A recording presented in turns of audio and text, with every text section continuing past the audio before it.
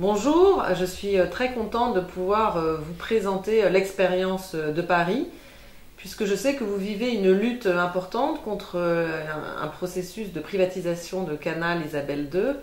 Et c'est vrai que vous avez raison de défendre la gestion publique, parce que l'expérience de Paris montre que nous avons connu à la fois une gestion privée et une gestion publique, et que les avantages sont évidemment du côté de la gestion publique. Un petit retour sur l'histoire. Jusqu'en 1984, il y avait une régie publique qui faisait la totalité du service de l'eau, mais déjà la commercialisation avait été donnée à la Générale des Eaux. Et en 1984, Jacques Chirac, ancien maire de Paris, décide de démanteler totalement le service public. Donc il crée une société anonyme en charge de la production de l'eau et deux délégations de services publics aux distributeurs privés, Général des Eaux sur la rive droite et Lyonnaise des Eaux sur la rive gauche, qui étaient en charge de la distribution et de la facturation. Donc il y avait trois délégations de services publics, sans mise en concurrence aucune, avec des contrats longs de 25 ans et sans aucune organisation du contrôle. Et donc ça, ce sont d'ailleurs des rapports de la Chambre des comptes, de l'inspection générale de la ville, qui ont dénoncé l'opacité financière totale du système, le fait qu'il n'y avait pas suffisamment euh, d'objectifs techniques qui étaient euh, inscrits dans le contrat, le fait qu'il n'y avait aucune maîtrise publique par la collectivité et par les citoyens du service.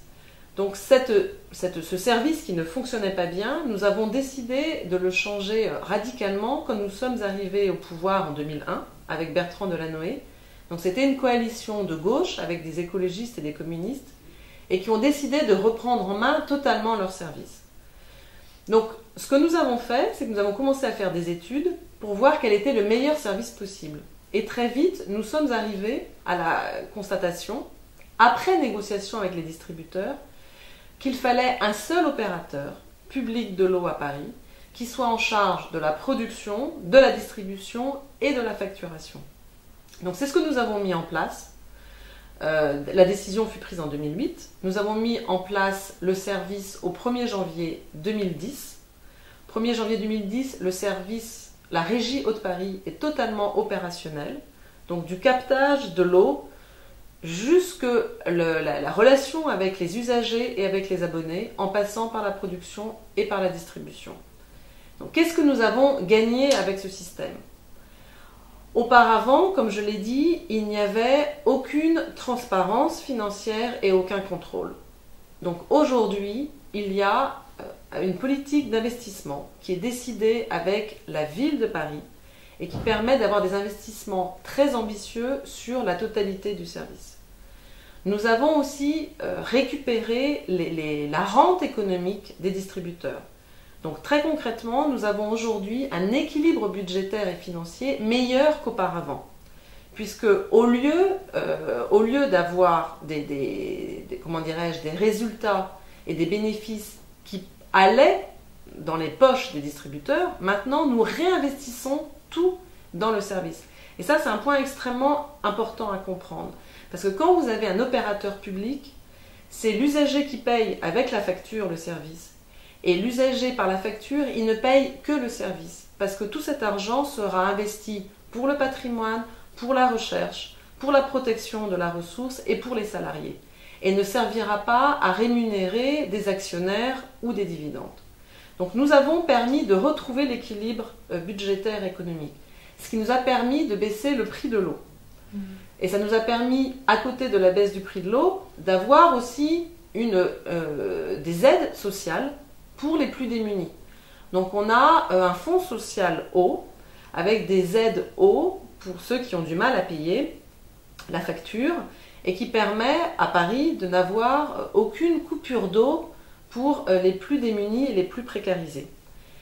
Et puis nous avons euh, décidé d'avoir un, meilleur contrôle euh, technique et sur le service. Donc on a un contrat d'objectif entre la ville de Paris et la régie, un contrat d'objectif avec plusieurs indicateurs qui permet d'avoir un suivi de l'activité comme jamais ça avait été fait auparavant.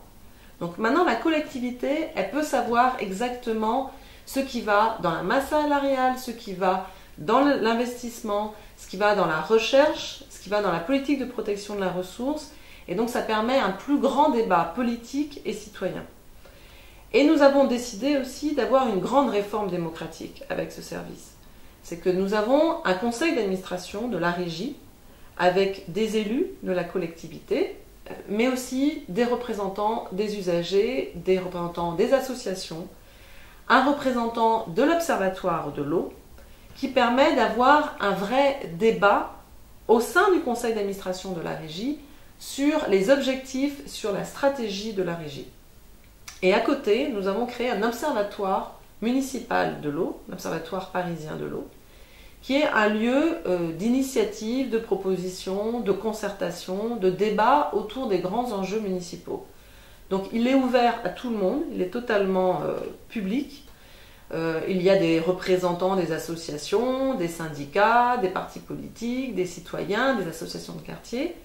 Et, tous les actes de gestion importants autour de la politique de l'eau et autour de la régie sont présentés au sein du devant l'Observatoire de l'eau et avant que ça ne soit présenté au Conseil de Paris, donc à l'Assemblée délibérante. Donc c'est vraiment une sorte de contre-pouvoir citoyen très important. Donc aujourd'hui, nous avons pu faire la démonstration que nous avons un service plus efficace auparavant, qui est mieux contrôlé par la collectivité et par les citoyens qui a un équilibre économique et budgétaire plus performant.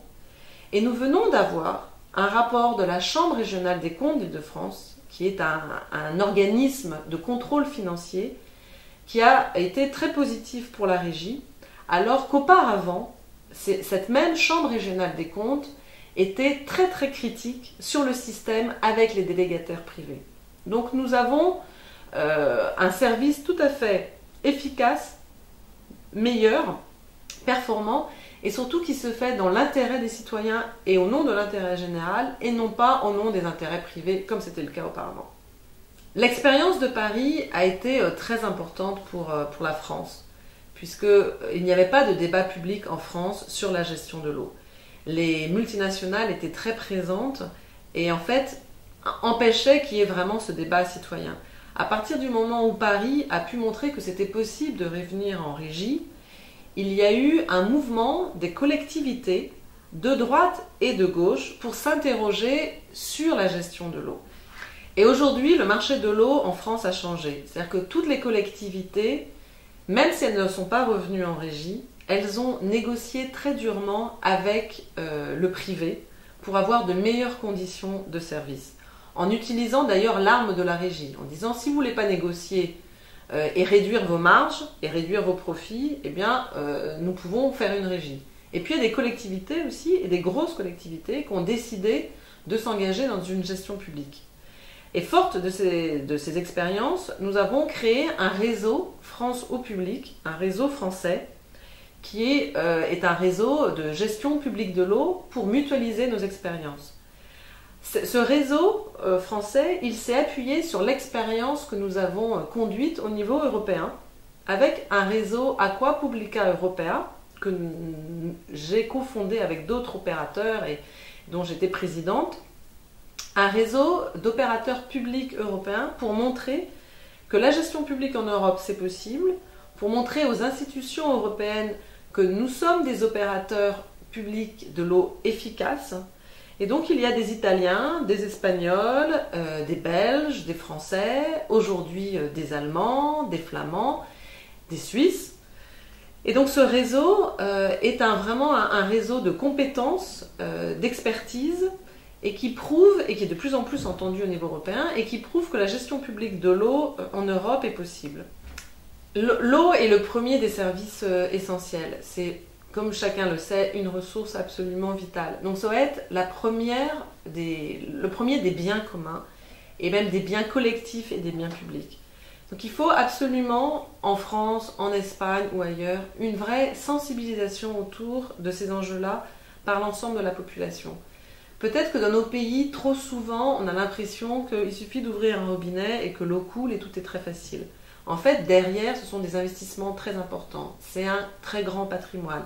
C'est souvent une histoire longue. Et on doit penser le service de l'eau sur un temps long, pour nos générations, mais pour les générations euh, suivantes. Donc je pense que l'éducation autour de l'eau, que ce soit d'ailleurs les jeunes générations comme les plus âgées, est extrêmement importante. Parce que c'est avec la question de la terre et avec la question de l'air les, éléments absolument essentiels au monde du vivant, à tous les écosystèmes. Donc nous devons, je pense aussi, chacun à notre manière, pouvoir travailler la formation, la sensibilisation et l'éducation autour des enjeux de l'eau pour préserver cette ressource. Donc l'expérience de Paris a été réussie de retour en gestion publique. Donc ce qui est possible à Paris, en fait, est possible ailleurs. Les contextes sont toujours différents. Évidemment, il y a la participation citoyenne et le contrôle par la collectivité qui sont des éléments majeurs, mais il y a aussi la protection de la ressource, euh, la question des investissements. Donc chacun doit trouver le meilleur service adapté, mais la gestion publique est de toute façon toujours possible, quel que soit le contexte et quelles que soient les conditions, et c'est toujours plus intéressant pour l'intérêt général.